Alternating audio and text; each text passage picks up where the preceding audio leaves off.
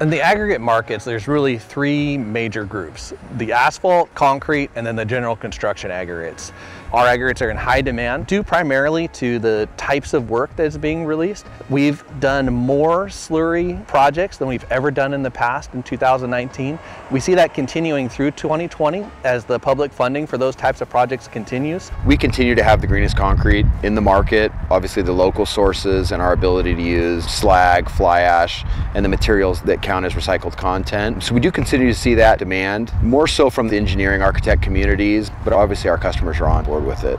We have five different locations. Some of them are close together, some aren't, but every single one of them has its own really niche market. The natural stone business is a big deal for us here in the Monterey Bay. We're really finishing the year strong in 19, but beyond that, it's really the landscape products, bulk aggregate. The demand is good right now, and we're taking advantage of our opportunities, and we believe 2020 is going to be the same. We're really glad to see the recycle markets continue to have strength. We offer recycled products here, and that does diminish some of the virgin supply, but we can put those to a higher and greater use into the concrete and asphalt markets.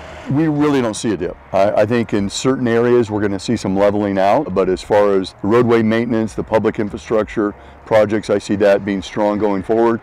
So we have a much stronger backlog going into 2020 than we did in 2019. And so we're going to grow our volumes right now by at least 10% year over year in the hot mix business. That's due to a lot of the SB1 money that construction division was able to land those large jobs. Going into 2020, we're seeing some additional large Caltrans work out there. So we think it's going to be a good opportunity for more volume next year there's kind of a general softness in the market. We definitely know that that's out there. However, with our vertical integration, we feel that we are well armored to protect ourselves from that softness and we are well prepared to be able to supply aggregates at a very efficient level. So there may be softness, but we're right in our wheelhouse of production.